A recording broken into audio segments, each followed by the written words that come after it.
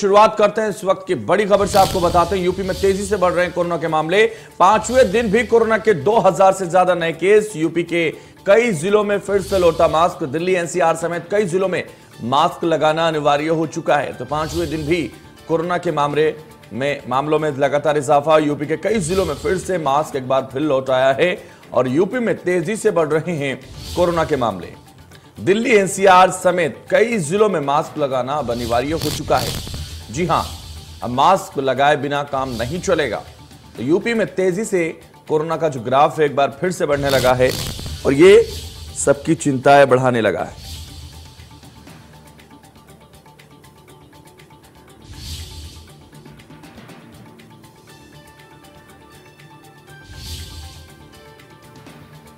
UP के कई जिलों में फिर से मास्क लगाना अनिवार्य हुआ है।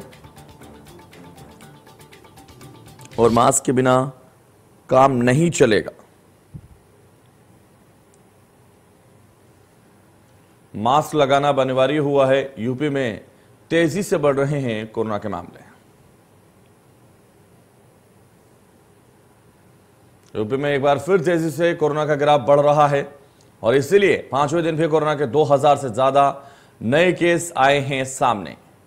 तो यूपी में तेज़ी से एक बार फिर कोरोना का ग्राफ बढ़ता हुआ कोरोना की वापसी से चिंता भी बढ़ रही है।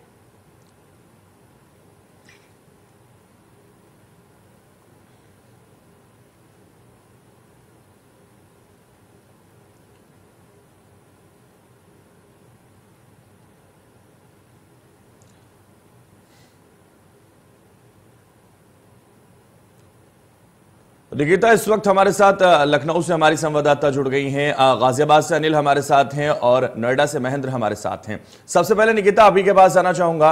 और जिस तरह से कोरोना का ग्राफ एक बार फिर तेज़ी से बढ़ने लगा है और ये चिंता भी बढ़ा रहा है, उसके लिए मास्क भी अब वापस से सब लोगों को लगाना होगा, क्योंकि अगर कोरोना को भगाना है तो प्रिकॉशन का खास ख्याल रखना होगा। किस तरह की व्यवस्था और किस तरह की तस्वीरें नज़र आ रही हैं लखनऊ से? देखिए, हैदर, आपको बताना चाहूँगी कि 25 करोड़ आबादी के साथ उत्तर प्रदेश फ़िलहाल सबसे बड़ा प्रदेश है और यहाँ पर जिस तरीके से केसेस बढ़ रहे हैं, वहीं अगर मैं रिकवरी रेट की बात करूँ तो वो भी बढ़ रहे हैं। हाँ बीते 24 घंटे की अगर मैं बात करूँ उत्तर प्रदेश में तो 213 नए केसेस भी रिकॉर्ड किए गए हैं। लखनऊ में 10 केस आए हैं। सबसे ज़्यादा जो केसेस आ रहे हैं वो फ़िलहाल गौतम बुद्ध नगर में आ रहे हैं, गाजियाबाद में आ रहे हैं।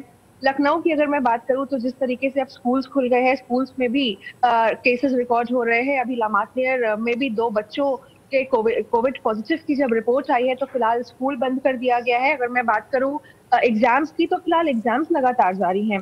जीएम की बात करूँ या सीएमओ की बात करूँ, लगातार वो यही कह रहे हैं कि कोविड प्रोटोकॉल का पालन करें तो स्थिति सुधर सकती है, लेकिन अभी फ़िलहाल जो प्रोटोकॉल है उसका पालन नहीं हो रहा है जिस तरीके से केस रिकॉर्ड हो रहे हैं। यही वजह है कि अब वैक्सीनेशन की जो दर है वैक्सीनेशन रेट है, उनको भी बढ़ा दिया गया है। तो फ़िलहाल अभी केसेस बढ़ रहे हैं, लेकिन अगर मैं एक पॉजिटिव एंगल की बात करूँ तो जो रिकवरी रेट है, उसमें भी फ़िलहाल अभी सुधार बना हुआ है, हैदर।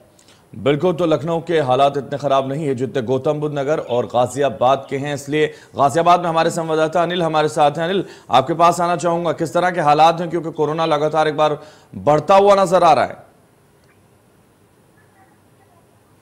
देखिए, मैं आपको बताना चाहूँगा, बीते 24 घंटे की अगर बात करें तो 55 केस जो है गाजियाबाद में पॉजिटिव आए हैं और ऐसे में टोटल केस की अगर बात की जाए तो 246 का आंकड़ा पहुँच चुका है।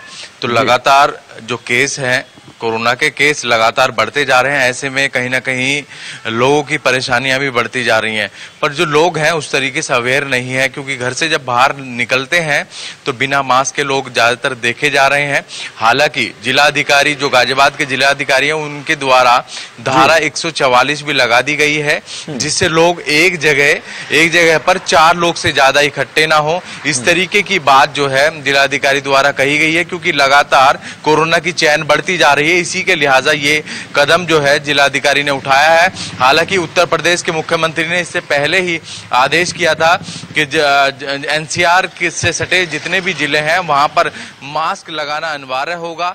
हालाँकि अभी कोई भी जुर्माने का प्रावधान अभी सरकार की तरफ़ से नहीं रखा गया है। अभी फर्स्टली लोगों को समझाया जा रहा है कि लोग समझ जाएँ क्योंकि लगातार कोरोना के केस बढ़ रहे हैं। हम्म। इसी के लिहाजा लगातार बात भी की जा रही है पर लोग जो है उस तरीके तरीके से अवेयर नहीं है। हालाँकि मुझे लगता नहीं है लोगों को समझाने की ज़रूरत है। लोगों ने first second third third wave तक देखी है तो लोगों को खुद ही समझ जाना चाहिए क्योंकि इस तरीके से लापरवाही यदि चलती रही तो कहीं ना कहीं कोरोना विस्फोट भी गाजियाबाद बिल्कुल तो लापरवाही बहुत बड़ा कारण बनेगी और जिस तरह से लगातार कोरोना वापस लौट रहा है या मरीजों में इजाफा देखा जा रहा है ये कहीं ना कहीं लापरवाही का बड़ा कारण हो सकती है। पहली दूसरी और तीसरी लहर तक तो ये था कि सरकारें लगातार कड़ाई से पालन करा रही थी जुर्माना लगा रही थी लेकिन अब तो कम से कम लोगों को समझना चाहिए। महेंद्र आपके पास आना चाहूँगा नोएडा में जो हालात हैं वो सबसे ज़्यादा खराब है उत्तर प्रदेश में और लगातार मरीजों मरीजों में इजाफा हो रहा है। आखिर क्या वजह है जो मरीज़ लगातार बढ़ रहे हैं? देखिए, हैदर, जैसे हमारी साथी शिरीन ने कहा था कि अगर उत्तर प्रदेश में सबसे ज़्यादा कोई जिला प्रभावित है, वो गौतम बुद्ध नगर है। उनकी बात बिल्कुल ठीक है, मगर कहीं ना कहीं जो यहाँ कैजुअलिटी रेट है, जो यहाँ डेथ रेट है, वो बिल्कुल कम है और लोगों की रिकवरी रेट बहुत ज़्यादा है।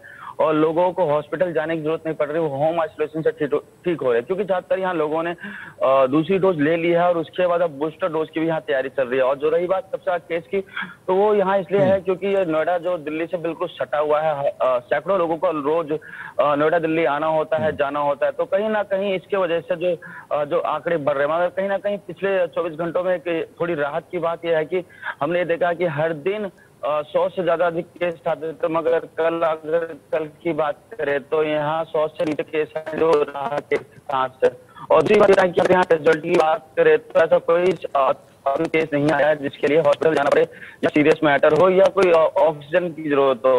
तो राहत की बात यह है कि यहाँ कैजुअलिटी कम है बिल्कुल तो राहत की बात यह ज़रूर है कि अस्पताल नहीं जाना पड़ रहा है लेकिन फिर भी प्रिकॉशन की ज़रूरत है और कहीं ना कहीं जो मरीज़ बढ़ रहे हैं उनमें उनमें लगातार जो इजाफा हो रहा है वो कहीं ना कहीं समझने की ज़रूरत है। महेंद्र बहुत शुक्रिया हमारे साथ जुड़े।